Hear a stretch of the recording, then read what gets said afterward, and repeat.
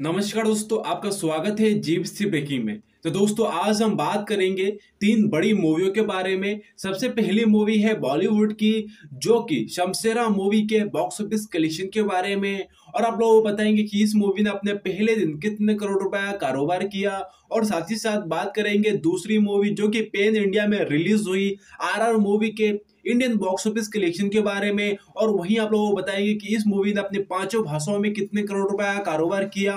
और वहीं दोस्तों तीसरी मूवी की बात करें तो तीसरी मूवी भी जो कि अल्लू अर्जुन स्टारर फ़िल्म इस मूवी को भी पेन इंडिया में रिलीज़ किया गया था। बात करेंगे इस मूवी के जो कि पाँचों भाषाओं में इस मूवी ने अपने पहले दिन कितने करोड़ रुपया कारोबार किया था और वही इंडियन बॉक्स ऑफ़िस यानी कि हिंदी लैंग्वेज में कितने करोड़ रुपया कारोबार किया।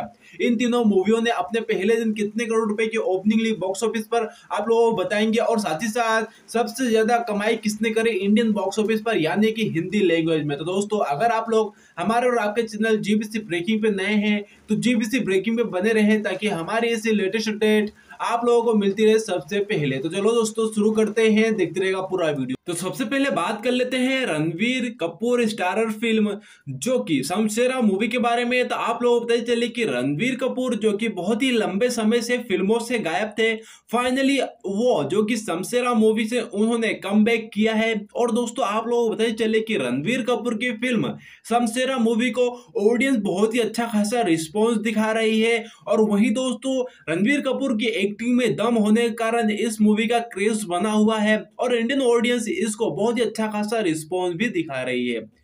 इस मूवी को जो कि यश राज फ़िल्म के तहत आदित्य चोपड़ा द्वारा निर्मित है, यह फ़िल्म, और वहीं दोस्तों शमशेरा मूवी हिंदी भाषा की एक एक्शन थ्रिलर फ़िल्म है। इस फ़िल्म में आप लोगों को रणवीर कपूर का जो कि डबल रोल देखने को मिलेगा, और वहीं दोस्तों आप लोगों को पता ही चले कि रणवीर कपूर ने इस मूवी में जान डाल दी है, क्योंकि उनकी एक्टिंग बहुत ही जोरदार और बहुत ही शानदार रहती है, और साथ ही साथ आप लोगों को पता ही चले कि वो बहुत ही मूवियाँ जो कि हिट दे चुके हैं इसी कारण इनको ऑडियंस बहुत ही ज़्यादा और भी पसंद करती है। आप लोगों को बता दें कि इस मूवी में आप लोगों को रणबीर कपूर और वही दोस्तों रणबीर कपूर के अपोजिट आप लोगों को संजय दत्त भी नज़र आए हैं, जो कि एक पुलिस वाले का किरदार निभा रहे हैं। और वही दोस्तों, जो कि इस फ़िल्म में हीरोइन के रूप में आप लोगों को देखने को मिली है, वाणी कपूर। दोस्तों, आप लोगों को पता ही चले कि वाणी कपूर भी आजकल बहुत ही जोरदार तरीके से एक्टिंग कर रही है और साथ ही साथ वाणी कपूर की भी बहुत ज़्यादा तारीफ़ करी जा रही है। और इस फ़िल्म में रोनित रॉय और सौरभ शुक्ला भी आप लोगों को देखने को मिले हैं। दोस्तों, आप लोगों को पता चले कि रणवीर कपूर की फ़िल्म शमशेरा मूवी जो कि 150 करोड़ रुपए के बजट से बनाई गई है, और इसी फ़िल्म में जो कि संजय दत्त का बहुत ही डेडली लुक दिखाया गया है, और वही दोस्तों, संजय का जो जिस तरीके से लुक दिखाया गया है ऑडियंस पसंद भी कर रही है, और साथ ही साथ संजय दत्त का कैरेक्टर बहुत ही फाड़ू है। इसी कारण इस फ़िल्म का बस क्रेज और भी ज़्यादा बन जाता है। हालाँकि संजय दत्त जिस भी फ़िल्म में रहते हैं, उनकी एक्टिंग जोरदार रहती है और वह फ़िल्म हिट होनी ही होनी है। दोस्तों, आप लोगों को बताए चले कि शमशेरा फ़िल्म में जो कि रणवीर कपूर का जो कि एक और बहुत ही डेडली लुक दिखाया गया है, यानी कि डबल लुक है, एक साधारण सिंपल और वही दोस्तों एक बहुत ही खलनायक के रूप में नज़र आए हैं रणबीर कपूर। और दोस्तों, आप लोगों को बताए चले कि शमशेरा मूवी को आज दूसरा दिन है इंडियन बॉक्स ऑफ़िस पर।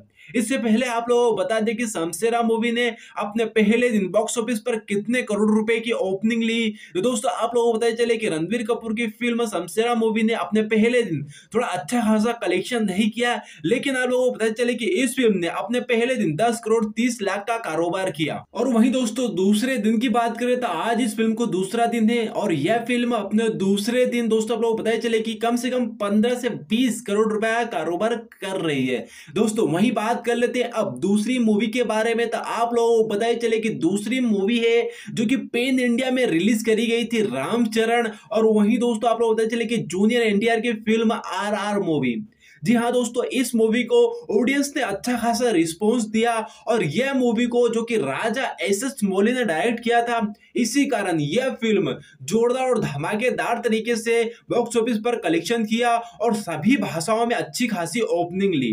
इससे पहले आप लोगों को पता चले कि इस फ़िल्म के बारे में तो दोस्तों, आप लोगों को पता चले कि राजा एस एस मोली की फ़िल्म आरआर मूवी का क्रेज और बस बहुत ही पहले से बना था, क्योंकि राजा एस मौली जिस भी फ़िल्म में रहते हैं, उस फ़िल्म का क्रेज बन ही जाता है। दोस्तों, इस फ़िल्म में आप लोग बॉलीवुड के सिंघम भैया, यानी कि आप लोग बताइए चले कि अजय देवगन साहब नज़र आए थे, और वहीं दोस्तों, जो कि आलिया भट्ट भी इस फ़िल्म में नज़र आई थी।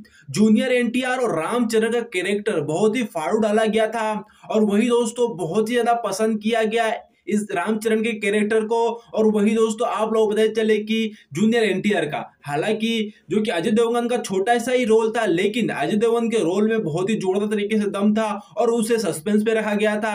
उनका रोल बहुत ही ज़्यादा फाड़ू था और ऑडियंस ने उनको पसंद भी किया। वहीं आलिया भट्ट का भी बहुत ही छोटा रोल था, लेकिन आलिया भट्ट को भी जो कि आर मूवी में बहुत ही अच्छा खासा रिस्पॉन्स मिला पब्लिक की तरफ़ से और पब्लिक ने आलिया भट्ट को भी बहुत ही ज़्यादा पसंद किया और आलिया भट्ट भी अब जोरदार और धमाकेदार तरीके से एक्टिंग कर रही हैं और जिसके कारण आलिया भट्ट को अब लगातार मूवियाँ मिल रही है। और वही दोस्तों, ये बहुत ही जोरदार तरीके से अब आप लोगों को ब्रह्मास्त्र मूवी में देखने को मिलने वाली है। बात कर लेते हैं जो कि आरआर मूवी के first day Indian box office collection के बारे में तो आप लोगों को बताए चले कि आरआर मूवी ने इंडियन बॉक्स ऑफ़िस पर अपने पहले ही दिन 20 करोड़ रुपए का कारोबार किया था हिंदी लैंग्वेज में, और वही दोस्तों पूरी भाषाओं को मिला के इस फ़िल्म ने अपने पहले ही दिन 133 करोड़ रुपए का कारोबार किया था। दोस्तों, अगर आप लोगों ने आर मूवी देखी तो आप लोगों को आर मूवी कैसी लगी, आप लोग हमें कमेंट बॉक्स में कमेंट करके ज़रूर बताएँ। अब बात कर लेते हैं तीसरी मूवी के बारे में तो आप लोगों को बताए चले कि पुष्पा मूवी के,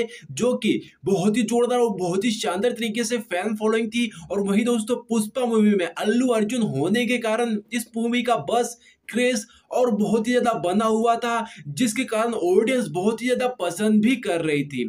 आप लोग बता दें कि पुष्पा मूवी इस मूवी को भी पेन इंडिया में रिलीज़ किया गया था, अल्लू अर्जुन की फ़िल्म अल्लू अर्जुन जो कि इंडियन लैंग्वेज में भी अच्छा खासा जो कि इनकी फ़ैन फॉलोइंग है और अल्लू अर्जुन को लोग पसंद भी करते हैं क्योंकि अल्लू अर्जुन जो कि अपनी हर मूवियों में एक्शन भरपूर और वही दोस्तों इनकी एक्टिंग बहुत ही जोरदार और बहुत ही शानदार रहती है। और वही दोस्तों अल्लू अर्जुन की एक्टिंग हर कोई देखना चाहता है। और दोस्तों आप लोगों को पता चले कि अल्लू अर्जुन के अपोजिट इस फ़िल्म में जो कि रश्मिका वंदना भी थी, इसी कारण इस फ़िल्म का क्रेज और बस और भी ज़्यादा बढ़ गया। दोस्तों आप लोगों को पता चले कि Allu Arjun starrer film Pushpa movie जो कि पहली ऐसी मूवी है जिसे पेन इंडिया में रिलीज़ किया गया। दोस्तों, इस मूवी में जो कि जोरदार एक्शन और दोस्तों, वही चंदन की तस्करी करते हुए नज़र आए थे, जो कि अल्लू अर्जुन। दोस्तों, अब बात कर लेते हैं इस मूवी के बॉक्स ऑफ़िस कलेक्शन के बारे में। तो आप लोगों को पता ही चले कि अल्लू अर्जुन की फ़िल्म पुष्पा मूवी ने अपने पहले ही दिन अच्छी खासी ओपनिंग ली थी इस फ़िल्म ने, जो कि इंडियन बॉक्स ऑफ़िस पर अच्छी खासी ओपनिंग नहीं ली थी। यानी कि हिंदी लैंग्वेज में इस फ़िल्म ने, जो कि अच्छा खासा कारोबार नहीं किया था, लेकिन पाँचों भाषाओं को मिला के इस फ़िल्म ने जोरदार और धमाकेदार तरीके से इस फ़िल्म ने 45 करोड़, जो कि 50 लाख का कारोबार किया। वहीं दोस्तों, हिंदी लैंग्वेज की बात करते हिंदी लैंग्वेज में इस फ़िल्म ने कम, बहुत ही कम कलेक्शन किया और इस फ़िल्म ने तीन करोड़ रुपए का ही कारोबार किया। दोस्तों, अगर आप लोगों ने जो कि शमशेरा मूवी और वही दोस्तों पुष्पा मूवी और वही दोस्तों आर आर मूवी देखी है तो आप लोगों को इन तीनों मूवियों में से सबसे बेस्ट मूवी कौन सी लगी? आप लोग हमें कमेंट बॉक्स में कमेंट करके अपनी राय ज़रूर दें। और साथ ही साथ, अगर आप लोग हमारे और आपके चैनल जीबीसी ब्रेकिंग पे नए हैं तो जीबीसी ब्रेकिंग को सब्सक्राइब करें और बेल आइकन को ज़रूर हिट करें ताकि हमारे इससे latest update Bollywood box office और वही दोस्तों आप लोगों को नई नई जानकारियाँ मिलती रहे सबसे पहले। धन्यवाद, जय हिंद, जय भारत।